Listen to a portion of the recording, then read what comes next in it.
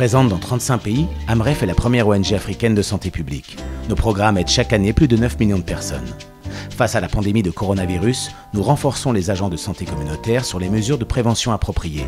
Ils peuvent ainsi sensibiliser les communautés sur le virus et sur les gestes barrières à adopter. Pour freiner la pandémie en Afrique, nous avons besoin de vous.